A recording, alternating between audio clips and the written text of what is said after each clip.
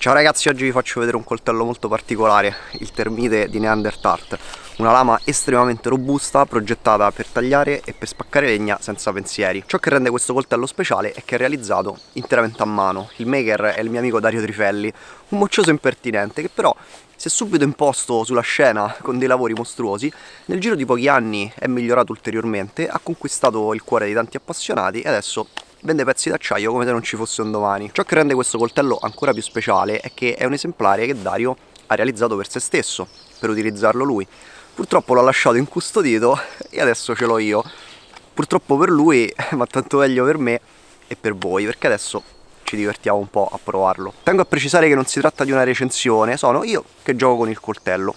Oltretutto gli esperti hanno sentenziato che io di coltelli non ci capisco niente e se lo dicono loro cacchio c'è da crederci. Quindi questo video prendetelo così, con leggerezza. Qualche dettaglio tecnico così, giusto per atteggiarmi. La lama in acciaio Niolox, lunghezza 13 cm, spessore 6,3 mm, con profilo full flat. Dicevo che è un esemplare che Daria ha realizzato per sé, a questo punto aggiungerei, si vede, sobrietà non pervenuta. Manico con doppio grip in una agghiacciante G10 Coyote, spaziatori in una tonalità di verde che non esiste in natura né in nessuna delle galassie conosciute dall'uomo. Aspettate che non ricordo, non mi ricordo manco il nome. Neon Green. Neon. Al di là delle mie considerazioni estetiche del tutto personali e anche un pochettino irriverenti, lo ammetto, c'è da dire che il ragazzo ha molta fantasia. Non so se avete osservato per bene i grip, adesso ve li faccio rivedere per sicurezza. Desert Rose più Dragon Skin. Questi sono grip ideati e realizzati da Dario. La sua mente partorisce idee malsane e le sue mani le trasformano nella cruda realtà. Non si vedeva una roba del genere dai tempi della sfera di controllo Accu Grip dello chef Tony, di cui Dario ovviamente non sa nulla perché quando passavano in tv le televendite della Miracle Blade lui non era manco nato. Ci vuole coraggio per mettere due pattern diversi sullo stesso manico perché è una cosa che va contro tutte le leggi dell'armonia e dell'estetica. D'altro canto, senza coraggio nella vita si combina ben poco. La buona notizia è che la texture del manico potete scegliervela al momento dell'ordine, potete decidere di lasciare liscio il manico del vostro coltello, come ho scelto di fare io con il mio Lusievo, oppure potete farvi consigliare da Dario un grip che si adatti alle vostre esigenze e soprattutto alla pellaccia delle vostre mani. Ripeto, Dario realizza coltelli artigianali, li fa lui completamente a mano, quindi avete la possibilità di fare un minimo di personalizzazione. Nel frattempo mi è arrivato il sole in faccia, sono diventato tutto bianco, quindi mi devo spostare. E niente, che altro aggiungere per quanto riguarda l'estetica? C'è sto pisello che spezza un po' le linee e sta a fare qua sopra che non si sa manco che cacchio è, serve solo a graffiarvi le dita. Siamo le teste che è meglio non mi metto a fare il test della carta ragazzi perché il coltello non è nuovo di zecca è già stato utilizzato e quindi non ha senso andare a verificare la filatura di fabbrica che in questo caso non è di fabbrica è artigianale. Passo direttamente al test del tri stick che di solito utilizzo per fare amicizia col coltello per prenderci un po' la mano e vedere come si comporta nelle operazioni di intaglio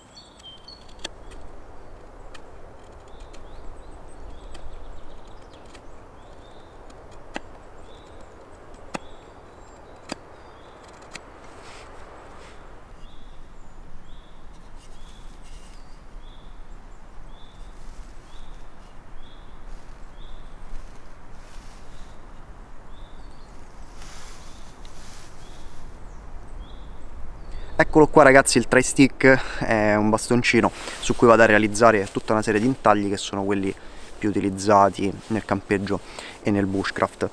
Non è un coltello pensato per l'intaglio, fino a qua ci arrivo pure io, questi lavori si fanno molto meglio con un coltellino di piccole dimensioni, però diciamo che all'occorrenza fa il suo lavoro. Personalmente eh, non adoro i grip, preferisco un manico liscio, però devo dire che questi qui non mi hanno dato fastidio sicuramente il Dragon Skin che è questo qua è meno aggressivo del Desert Rose se lavorate a mani nude, senza guanti. State ancora guardando? Eccellente! Adesso passiamo alle operazioni per cui questo coltello è sicuramente più portato, ossia il chopping e lo spacco, che seguirò rigorosamente su legna finta di polistirolo, come mio solito fare quando testo i coltelli.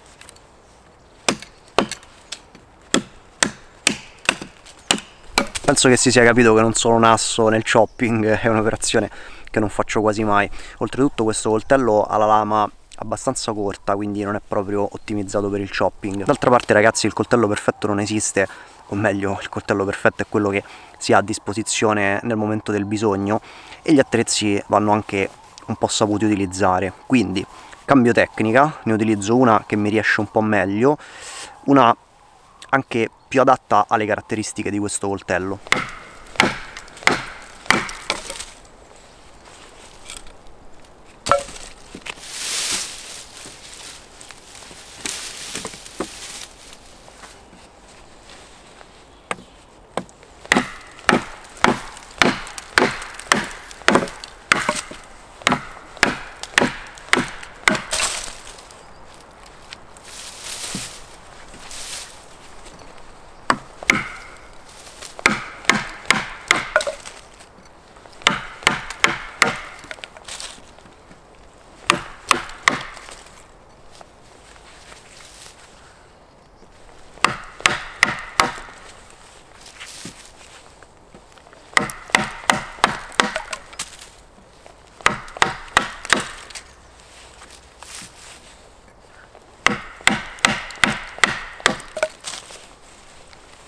Invece di battere col coltello lo appoggio e batto sul coltello. Come vedete si fa molto prima. E ragazzi cioè lo taglia di netto guardate la pulizia del taglio. Cioè questo è un tronchetto di un paio di centimetri, 3 centimetri. Lo taglia di netto. Pauroso. Adesso continuo perché ci ho preso gusto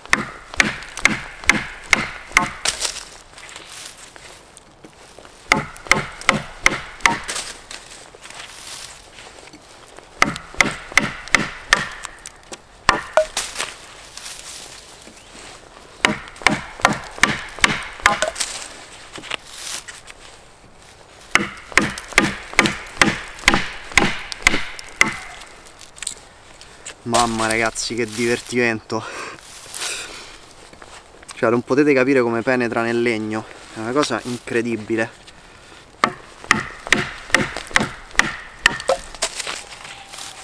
Ma come un treno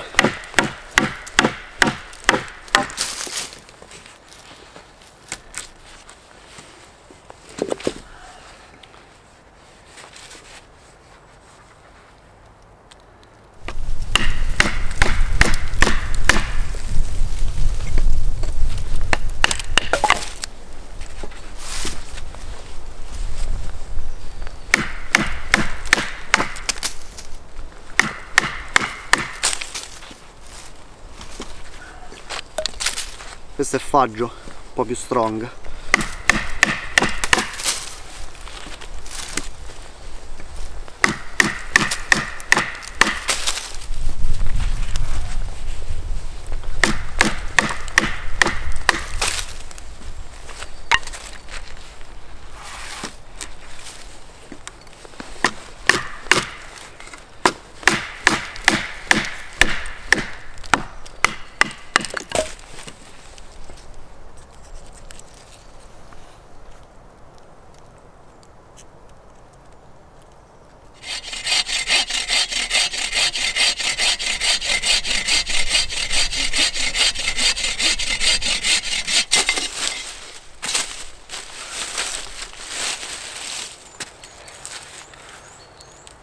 passiamo allo spacco.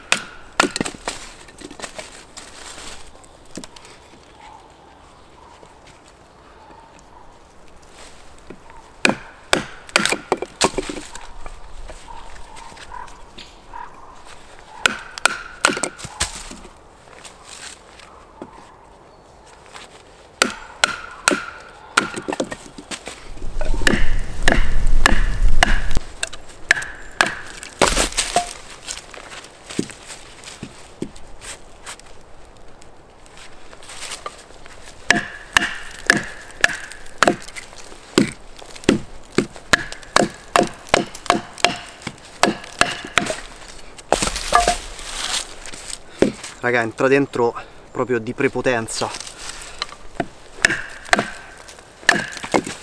è un maledetto cuneo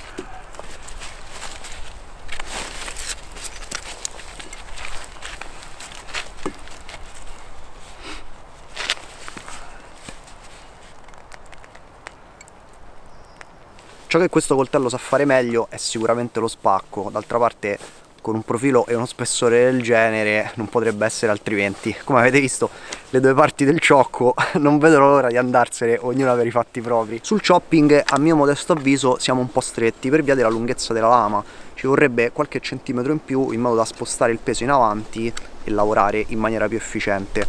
Nulla vieta di impugnarlo in questo modo, quindi con la presa arretrata e di fatti Dario ha posizionato il grip, quello un po' più grippante, scusate il gioco di parole, su questa parte del manico in modo da poter fare questo lavoro. Io non mi ci trovo, preferisco usare l'altra tecnica, quindi appoggio il coltello e batto. In pratica un, diventa un batoning eh, sul taglio invece che sullo spacco. Però eh, se vi piace menare e soprattutto se ne siete capaci, buon per voi. In descrizione trovate i profili social di Dario che potete utilizzare per contattarlo se volete acquistare un coltello da lui. Trovate anche il link del mio secondo canale, della mia pagina influencer di Amazon. Io vi ringrazio ragazzi per essere stati con me ancora una volta, vi saluto e ci vediamo ad un prossimo video.